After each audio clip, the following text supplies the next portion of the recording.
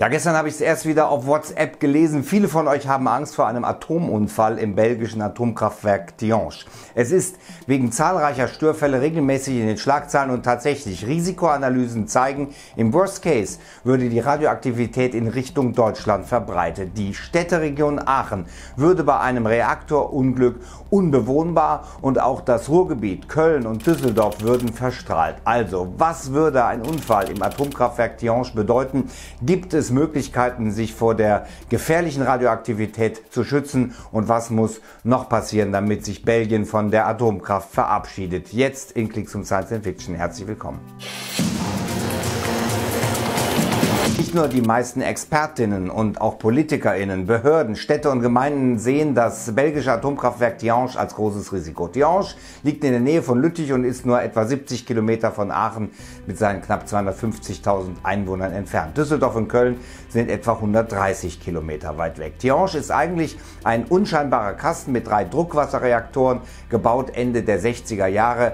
Der erste Block ist seit 1975 in Betrieb. Doch die Sicherheitssysteme sind überholt. Immer wieder kommt es zu größeren Störfällen und zwar zu größeren, nach denen der Reaktor für einige Zeit vom Netz genommen werden muss. 2002 kam es zur bislang schlimmsten Störung. Ein Ventil stand einige Zeit offen, der Druck fiel ab und das Kühlwasser verdampfte. Das ist ziemlich schlimm. Eine Kernschmelze wurde durch die Sicherheitssysteme verhindert. Der Protest gegen Tihange wird immer größer. Mittlerweile gibt es sogar Klagen gegen das Kernkraft. Einzig und allein Belgien selbst hält daran fest. Die Atomaufsicht des Landes hält die Reaktorblöcke für sicher. Dabei ist der Druckbehälter mit rund, Achtung, 3200 Rissen übersät. Wie bitte? No risk, no fun oder was? Nur wird es alles andere als Fun werden. Es ist einfach komplett bescheuert, wie die Menschen offenen Auges die Leben von Millionen anderer Menschen in Gefahr bringen. Das erinnert etwas an Fukushima. Schlimm. Die Stadt Aachen sorgt lieber vor als nach. Wir hatten darüber berichtet. Die Behörden hatten im vergangenen Jahr Jodtabletten verteilt, die verhindern sollen, dass die Schilddrüse radioaktives Jod aufnimmt. Eine wirklich krasse Aktion, die es bundesweit bisher nur in Ausnahmefällen und nur in sehr begrenzten Regionen gab. Und den Aachenern ist es sehr ernst. Zitat, je nachdem, wie das genaue Szenario aussieht, haben wir ganz große Zweifel, dass wir es schaffen, Jodtabletten rechtzeitig zu verteilen. Das sagt der verantwortliche Koordinator Markus Kremer. Damit meint er verschiedene Faktoren, die das Horrorszenario Atomunfall maßgeblich beeinflussen. Wann passiert der Unfall? Nachts oder tagsüber? Wie ist das Wetter? Gibt es starken Wind und regnet es? Und damit im Worst Case nicht auch noch schnell und in Panik Ausgabestellen für Jodtabletten eingerichtet werden müssen, sorgt man in Aachen lieber vor. Und zwar nach der Empfehlung der Strahlenschutzkommission, denn die empfiehlt für Gebiete der Außenzone für den Fall der Freisetzung radioaktiven Jods infolge eines schweren Reaktorunfalls die Verteilung von Jodtabletten. Die Kosten für die ganze Aktion übernimmt übrigens das Land Nordrhein-Westfalen.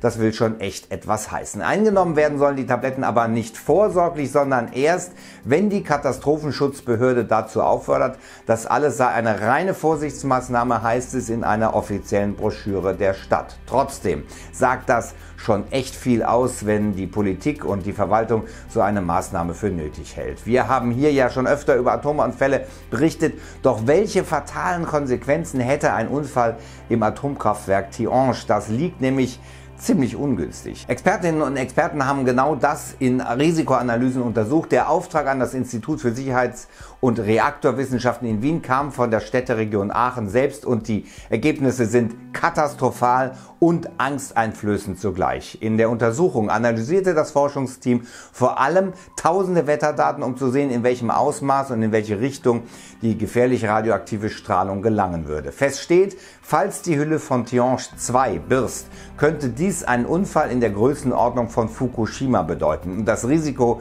ist gegeben. Dazu der beteiligte Kernkraftexperte Wolfgang Renneberg. Bis auf die Hälfte seiner Dicke ist ein Reaktordruckbehälter mit Rissen durchzogen. Das ist ein Sicherheitsrisiko, das man nicht dulden kann.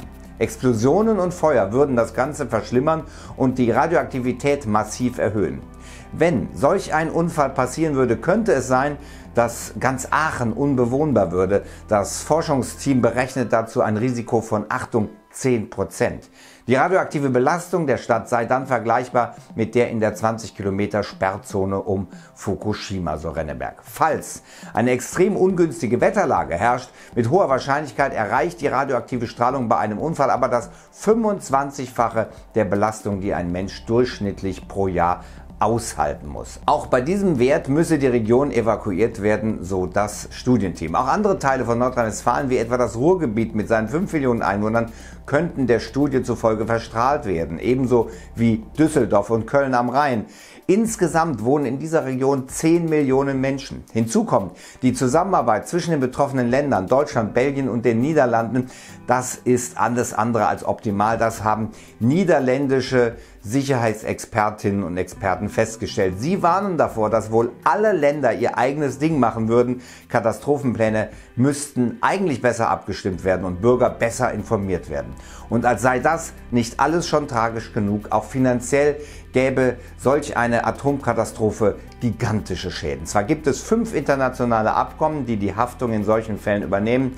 Zitat, das Problem dabei ist nur, dass sie zu erwarteten Kosten um ein Vielfaches höher sein werden als die in den Abkommen festgelegten Haftungssummen und Deckungsvorsorgesummen. Das sagt die Wissenschaftlerin Lena Reuster. Zur Erklärung, ein Supergau, also ein riesiger Atomunfall, würde wohl Kosten im dreistelligen Milliardenbereich verursachen. Dreistellig.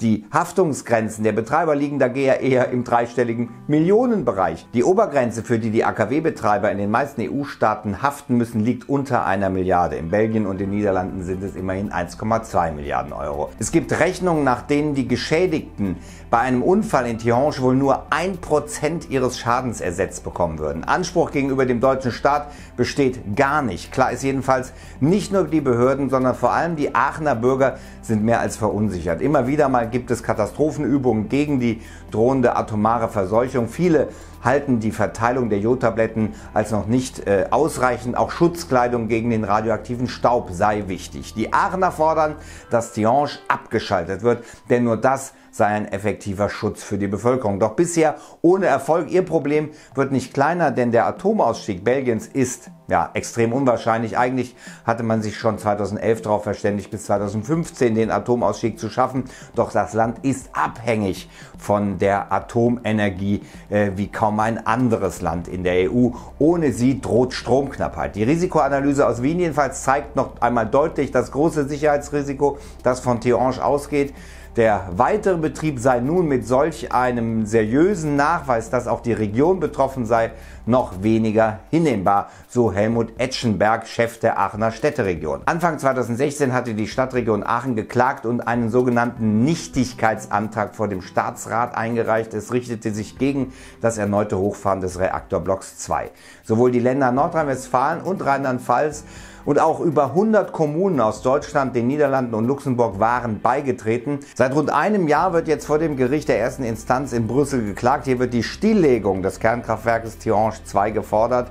Die Begründung, die persönliche Betroffenheit im Falle eines schweren Atomunfalles. Wenn ihr als Erste Neues zu Tihange und zu allen anderen Themen erfahren wollt, dann meldet euch hier bei WhatsApp an. Dann erfahrt ihr von mir vor allen anderen vom neuesten Video eben vorab und das garantiert. Ihr könnt dort direkt in der Redaktion von so mitmachen und mir Themen vorschlagen oder andere Vorschläge machen. Der direkte Draht zu mir. Einfach hier draufklicken und natürlich nicht das Abo mit der genau der Glocke vergessen. Hier geht es weiter mit, dafür auch draufklicken. Aachener bereiten sich auf Atomunfall vor. Ansonsten bis dann.